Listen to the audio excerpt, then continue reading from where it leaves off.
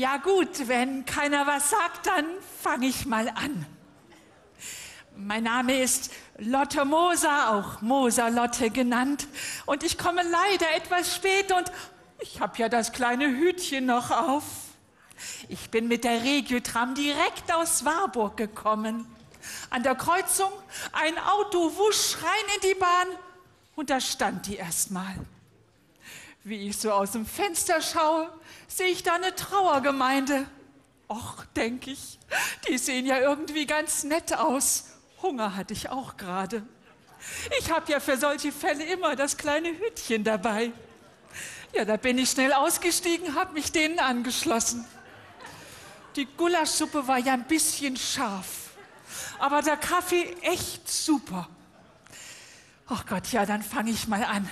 Das ist ja das erste Mal, dass ich bei einer Selbsthilfegruppe eingeladen bin.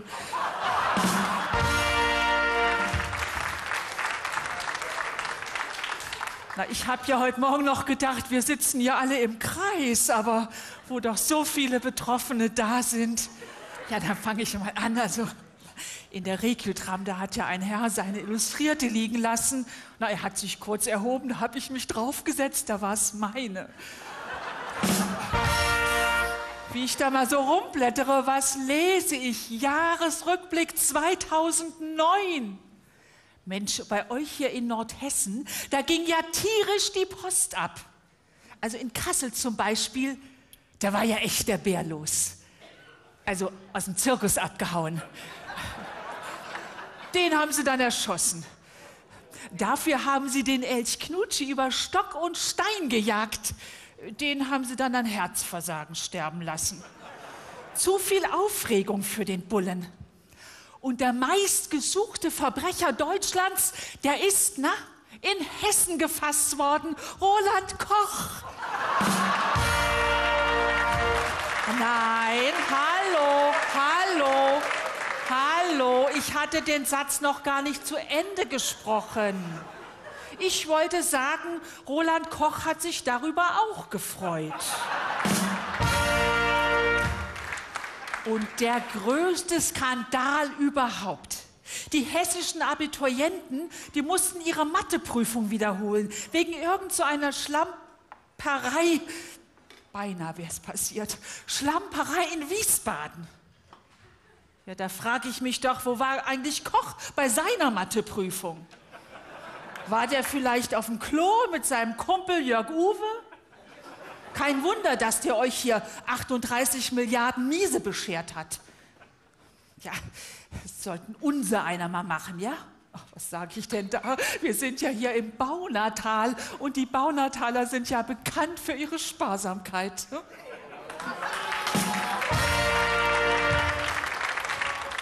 Jetzt wollt ihr wissen, woher ich das weiß. Ja, von meinen Gagenforderungen. Der Präsident hat zu mir gesagt, gnädige Frau, hat er gesagt, Sie kann man nicht bezahlen, Sie kann man nur gewinnen. Na, und wenn ich mich hier so umgucke, sind doch so ein paar sparsame Kostüme dabei. Manche der Herren haben sogar an Perücken gespart. Auch guten Abend, Herr Schaub.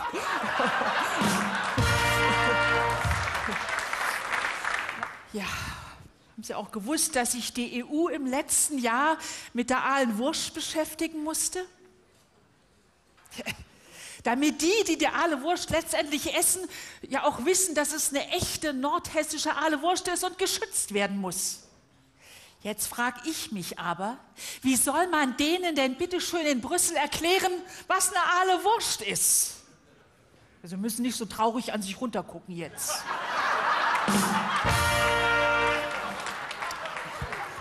Na, ich meine, ja, eine Ahlewurst, das, das ist doch was, was lange reift, ja?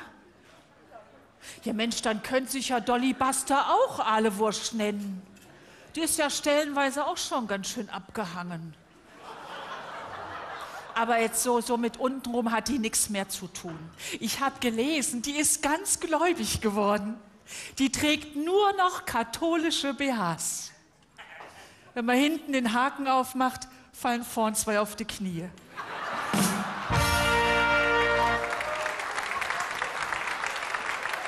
Und, und die mischt ja jetzt sogar in der Politik mit. Erst im Dezember letztes Jahr, da hat sie sich noch mit dem Außenminister von Kirgisien getroffen. Äh, der, der, oh, jetzt habe ich seinen Namen vergessen, Genosse. Wie heißt er noch gleich? Das weißt du nicht, ne? Aber als ich Dolly Buster erwähnt habe, da hast du gleich gewusst, von wem ich spreche. Da weiß ich ja, weiß ich ja, wo deine Interessen liegen. Wer von euch hat denn im letzten September, bitteschön, ein Kreuz gemacht? Meldet euch mal. An der falschen Stelle. Nur damit ich mal weiß, wem wir dieses Dream Team in Berlin zu verdanken haben. Merkel und Westerwelle. Das ist doch wie eine Mischung aus Pitti Platsch und verbotene Liebe. Habt ihr gesehen, wie Kohls Mädchen und die Vera Längsfeld auf Wählerfang gegangen sind? Blank gezogen haben die. Da hat sich die CDU eine ganz schöne Hängepartie erlaubt. Nach der Wahl, da hat das Angela, das Guido angeguckt und jeder hat so für sich gedacht, boah, gruselig. Wenn ich das fünf Jahre aushalten soll, brauche ich was fürs Auge. Ja, da haben die sich den Kralle geholt, also den, den Theodor. Ich kann mir immer nicht merken, wie der richtig heißt. Der hat noch mehr Vornamen als Pippi Langstrumpf. Und bei seinem letzten Besuch in Takatukaland, da ist sein Fanclub auch ein bisschen geschrumpft. Ne? Man sagt doch auch in der Politik nicht, was man denkt, Junge. Und dann 20 Jahre Mauerfall. Auch in Hessen wurden rauschende Feste gefeiert, sozusagen als Probelauf für dies Jahr, wenn es heißt, 20 Jahre ist die Adoption der fünf neuen Bundesländer her. Ist doch Quatsch. Ist jemand hier von euch verheiratet? Ja, ihr? Schon länger? Ja, ja, schon länger. Äh, und sagst du denn auch noch nach über 20 Jahren immer noch, das ist meine neue Frau? Na also.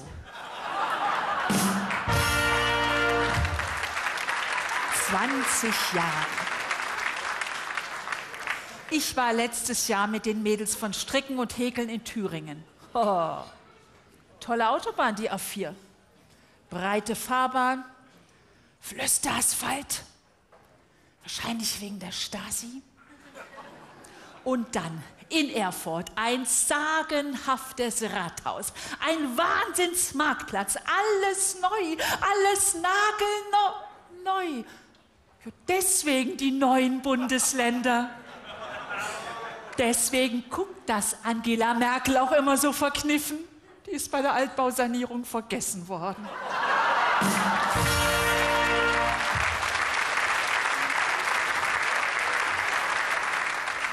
Ich habe ja, hab ja im Foyer schon einen netten Herrn vorher kennengelernt, der mich auch angebaggert hat. Charmant gut aussehend und sehr gepflegt für seine 83 Jahre. Lotte Moser, habe ich mir gedacht. Mensch, wenn du den mal daheim bei dir auf dem Sofa sitzen hast und wir zwei. Ja, und wenn der dabei mit den Augen rollt, da wüsste ich doch gar nicht, kommt der oder geht der? Na, ich gehe dann jedenfalls mal. Schönen Abend noch. Hello!